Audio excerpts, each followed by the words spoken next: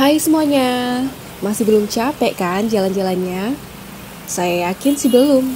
Soalnya masih banyak tempat yang masih bisa kita lewati. Tapi sebelumnya, jangan lupa klik tombol subscribe-nya ya. Biar semangat lagi buat muter-muter tempat yang menarik lainnya.